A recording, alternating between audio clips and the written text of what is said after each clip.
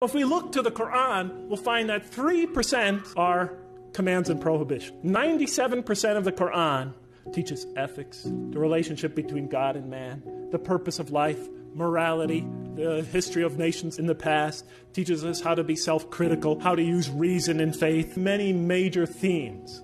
You know what I was taught when I became a convert? Rules, rules, rules. If I hadn't studied this religion myself, I would have left it the next day. Let us begin by following the model established by God Himself through His prophet Muhammad. Peace be upon him. Do we practice that here? We're trying to win these kids back over to this religion. And the first thing we do is get them in that door. We tell them, okay, okay, you cover your hair. You do this. Don't do this. Don't do that. Don't do that. We are obsessed with only that. Be tolerant. If our kids come to our community not so modestly dressed, it's better that they come than not come at all.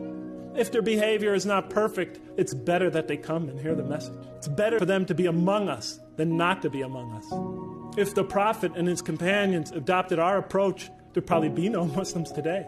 How about the time the man came and he urinated in the mosque in that famous hadith report? The companions were ready to kill the guy. The report says that they already had their hands on him. The Prophet said, Let him go. Go get some water and pour it over it. You've been sent to make things easy for people, not to make them hard. Let's follow the Mecca plan. Let's just give it a try.